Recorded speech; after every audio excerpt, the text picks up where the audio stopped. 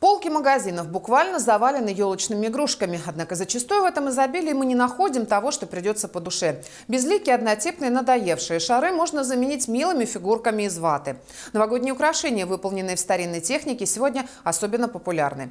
Известная староскольская художница Жанна Соломка показала нам, как сделать ретро-игрушку своими руками.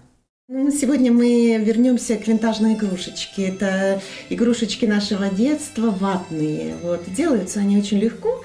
Когда-то в одно время я сама взяла мастер-класс у хорошего худ... ну, мастерицы, и теперь их могу делать много. И делается быстро. И это самая такая дешевая игрушечка, может любой человек ее сделать. Повесить на елочку или подарить своему, своим родным.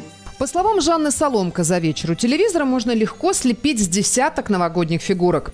Итак, нам понадобится вата. Хлопковая, желательно однородная. Белые нитки, обычные бумажные салфетки и краски. Акварель, гуашь или такая роскошь, как сегодня у нас, профессиональные масляные краски.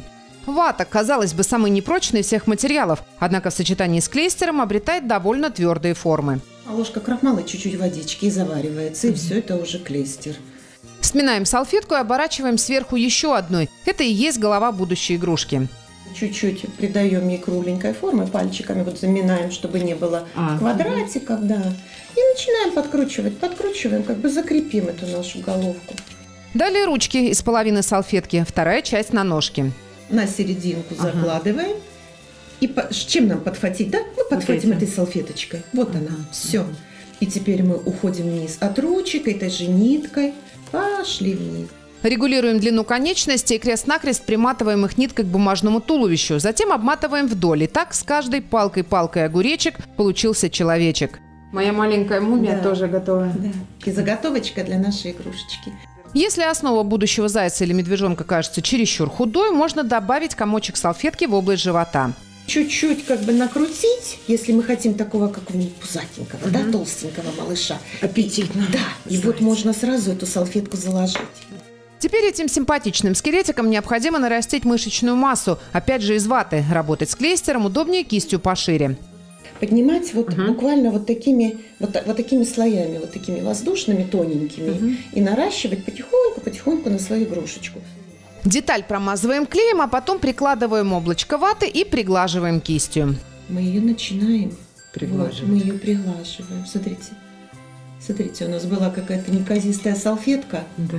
Смотрите, а получилась уже классная ровненькая да. головочка. С помощью паутинок ваты придаем форму ручкам и ножкам. Сначала ага. мы ее приложили. И что делаем дальше? Вот мы ее прямо сейчас прирастили. Потом, смотрите, вот таким движением. Ага. Вот таким движением. Раз, раз, раз. Ловким движением. Да. Смотрите, отсюда на тельце. На тельце. Ага. Вот так вот. Закрепляем, закрепляем, закрепляем. Оно будет выравниваться. Если выровнять руки ватного человечка можно, то собственными непослушными пальцами куда сложнее. Здесь клейстер не поможет. Но, успокаивает Жанна, самодельная елочная игрушка не должна быть идеальной. Сворачиваем маленькие ушки.